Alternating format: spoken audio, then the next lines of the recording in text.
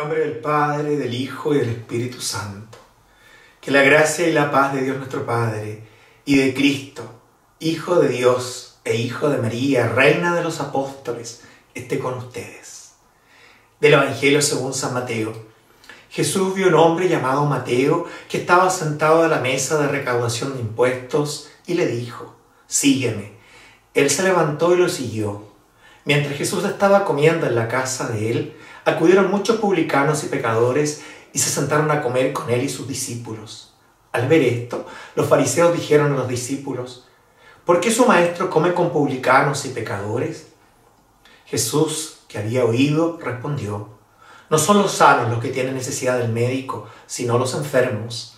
Vayan y aprendan qué significa. Yo quiero misericordia y no sacrificios, porque yo no he venido a llamar a justos, sino a pecadores.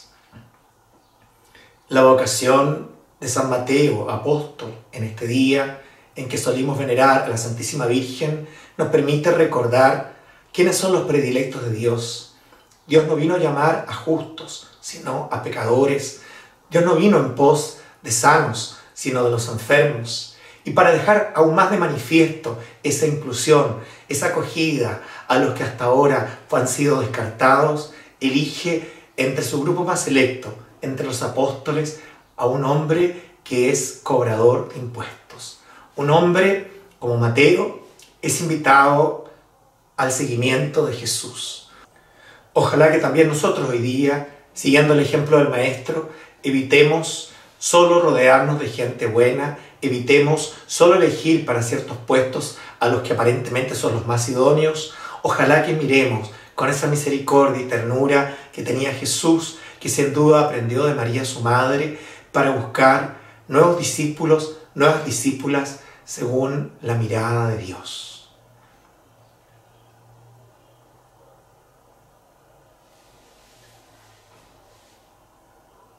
Creo, Jesús mío, que estás real y verdaderamente en el cielo y en el santísimo sacramento del altar.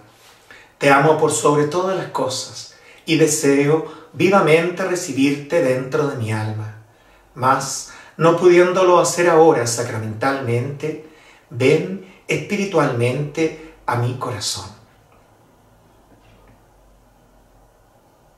Y como si ya te hubiese recibido, te abrazo y me uno del todo a ti. Señor, no permitas que me separe de ti.